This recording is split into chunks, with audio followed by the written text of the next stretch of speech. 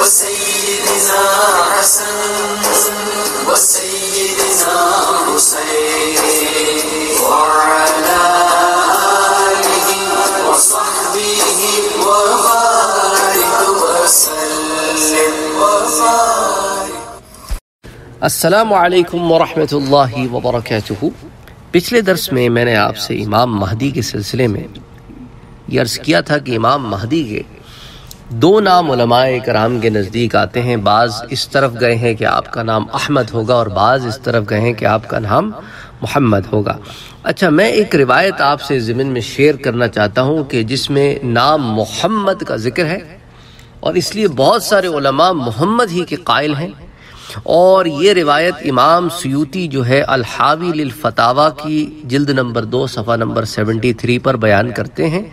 حضرت عبداللہ ابن مسعود رضی اللہ تعالی عنہ اس کے راوی ہیں کہ عن النبی صلی اللہ علیہ وسلم قال کہ حضور سے وہ روایت فرماتے ہیں کہ آپ نے ارشاد فرمایا، اسم المہدی محمد، کہ مہدی کا نام محمد ہوگا۔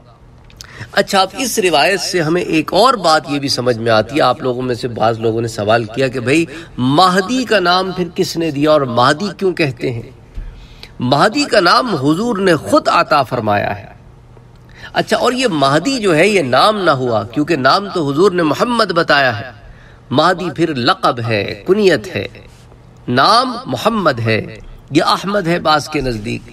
لیکن مہدی کا ذکر حدیث میں ہی موجود ہے۔ اچھا ایک حدیث میں بھی نہیں، ایک سے زائد حدیث میں موجود ہے۔ اچھا پھر آپ کے نصب کے بارے میں میں انشاءاللہ تعالی ایک اور آپ سے آپ کے سامنے درس دوں گا۔ اچھا اسی طرح ایک روایت ہمارے پاس آتی ہے، امام حاکم اس کو المستدرک امام حاکم میں بیان کرتے ہیں۔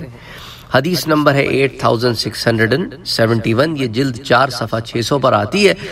ام سلمہ رضی اللہ تعالی عنہ حضور صلی اللہ علیہ وآلہ وسلم کی زوجہ محترمہ ام المومنین، آپ روایت کرتی ہیں کہ میں نے حضور صلی اللہ علیہ وآلہ وسلم کو مہدی کا ذکر کرتے ہوئے سنا۔ سمعت رسول اللہ صلی اللہ علیہ وسلم کہ آپ نے مہدی کا ذکر کیا، فقال اور کہا، ہوا حق اور وہ مہدی جو ہے، وہ حق ہے یعنی کہ ان کا ظہور بھی برحق اور ثابت ہے۔ تو بہرحال امام مہدی کا ذکر اس روایت میں بھی آ گیا۔ اور بھی روایات میں آتا ہے امام مہدی کا ذکر، لیکن میں نے آپ کے سامنے کم سے کم یہاں پر دو روایتیں ذکر کر دی ہیں تاکہ آپ کے سامنے یہ معاملہ بھی آ جائے کہ یہ نام حضور صلی اللہ علیہ وآلہ وسلم کا عطا کیا ہوا ہے۔ اچھا امام مہدی کا یہ لقب ہے اور کنیت ہے۔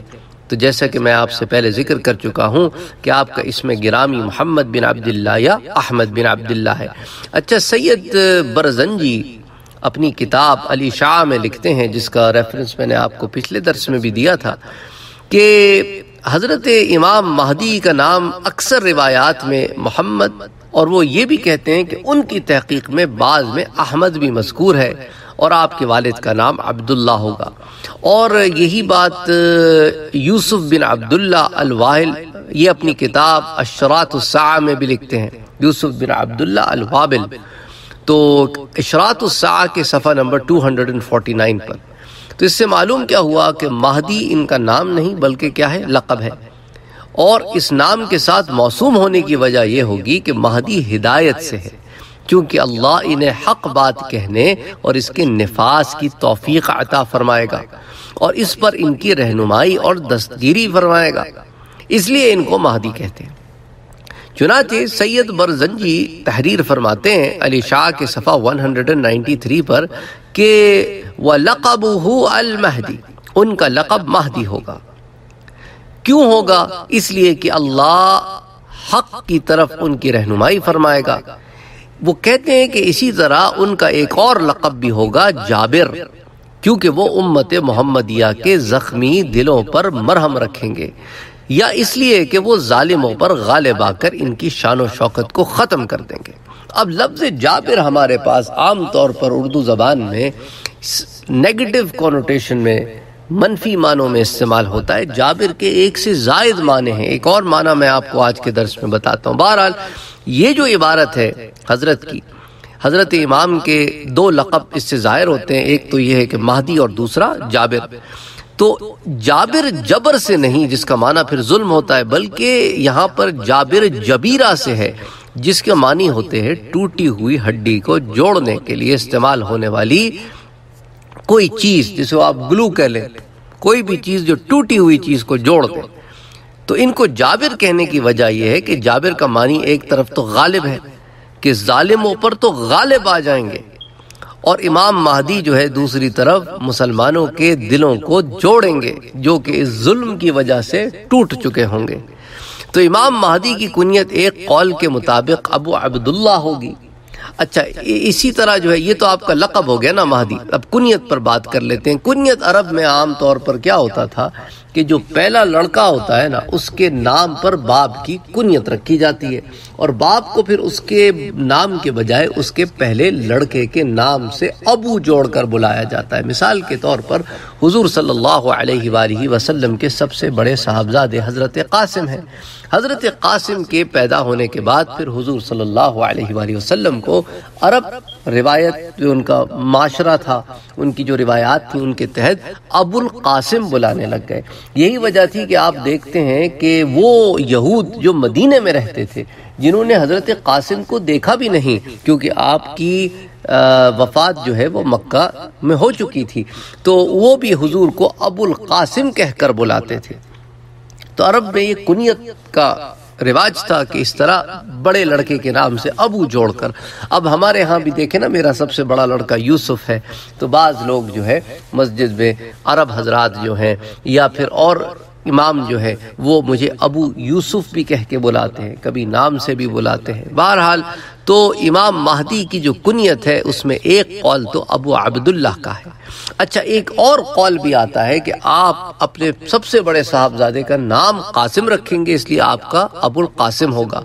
تو اس زمن میں سید برزنجی تحریر فرماتے ہیں، علی شاہ کے صفحہ 193 پر ہی کہ امام مہدی کی کنیت ابو عبداللہ ہوگی اور قاضی ایاز کی کتاب شفا میں ہے کہ ان کی کنیت ابو القاسم ہوگی۔ لیکن ابو القاسم کنیت رکھنے پر ایک حدیث سے اعتراض بھی ہے کہ جس میں حضور کے نام پر تو نام رکھنے کا حکم ہے، پر حضور نے کہا کہ میری کنیت نہ رکھی جائے۔ تو نام اور کنیت یہاں جمع کرنے کی ممانعت ہو گئی۔ تو امام مہدی کا نام اور کنیت دونوں حضور کے موافق ہوں گے۔ تو اس کا جواب یہ دیا ہے علماء نے کہ حدیث میں جو ممانعت ہے کہ میرے نام اور کنیت کو جمع نہ کرو، وہ حضور صلی اللہ علیہ وآلہ وسلم کی ظاہری حیات پر محمول ہے۔ اب اس کی کرنے کی اجازت ہے۔ اچھا اسی طرح مشکات شریف میں ہے کہ حضرت محمد بن حنفیہ کی اپنے والد حضرت علی رضی اللہ تعالی عنہ سے یہ روایت منقول ہے کہ حضور صلی اللہ علیہ وآلہ وسلم کی خدمت اقدس میں عرض کیا، مشکات شریف کے صفحہ چار سو آٹھ پر آتی ہے کہ آپ مجھے اس بارے میں بتائیے کہ اگر آپ کی وفات کے بعد میرے یہاں کوئی اولاد ہوئی تو میں آپ کے نام پر اس کا نام اور آپ کی کنیت پر اس کی کنیت رکھ دوں۔ فرمایا ہاں کوئی حرج نہیں۔ اور بعض علماء نے کہا ہے، یہ اجازت خاص حضرت علی کے لیے تھی اور غیر کو اس کے اوپر اطلاق نہیں ہے۔ اس لیے حضرت علی نے اجازت مانگی اور حضور نے اجازت دی۔ بہرحال علماء میں فام کا اختلاف ہے۔ تو اس لیے میں نے کہا کہ میں روایت بھی رکھ دوں، علماء کا فام بھی رکھ دوں۔ تو وہ بعض جو کہتے ہیں، وہ کہتے ہیں کہ اس میں اس بات کی سراحتاً اجازت ہے کہ حضور کی وفات کے بعد، ظاہری حیات کے بعد آپ کے نام اور کنیت کو جمع کرنا جائز ہے۔ بعض اس طرف گئے ہیں اور بعض دوسری طرف گئے ہیں کہ نہیں، یہ خاص حضرت علی کے لیے حکم تھا، ورنہ ایسا نہیں کرنا چاہیے۔ اچھا ملا علی قاری تحریر فرماتے ہیں جو کہ مرقات الوفاتی کے جلد نمبر نو، صفحہ ایک سو سات پر بھی آتا ہے۔ اور ایک قول یہ ہے کہ ممانعت حضور کی حیات تک، ظاہری حیات تک خاص تھی اور التباس لازم نہ ہے اور یہی صحیح ہے۔ تو بہرحال اس کے بعد جو ہے مختصراً میں نے آپ کو یہاں پر یہ چند ایک باتیں بیان کرتی ہیں کہ امام مہدی کو مہدی کیوں کہتے ہیں؟ مہدی کا لقب کہاں سے آیا؟ اور مہدی کے علاوہ ان کا جابر کا جو لقب ہے، وہ بھی جس کتاب میں آیا ہے، وہ بھی میں نے آپ کو حوالہ دے دیا۔ اور ان کی کنیت کے متعلق بھی آپ کو بتا دیا اور علماء کی رائے سامنے رکھ دی۔